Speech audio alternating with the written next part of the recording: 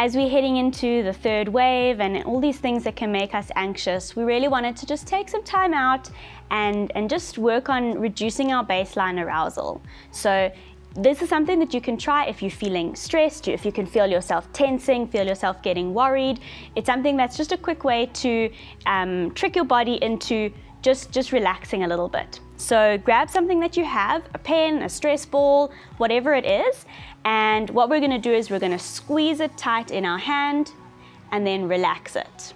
Okay, okay, so when we breathe out, we're gonna do what's called turtle mouth. So you're gonna breathe so that your air comes over your bottom lip. So tighten your top lip, push it out, and then, so you breathe out. So,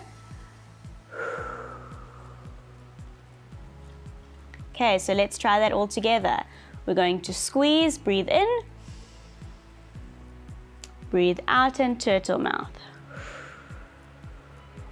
Okay.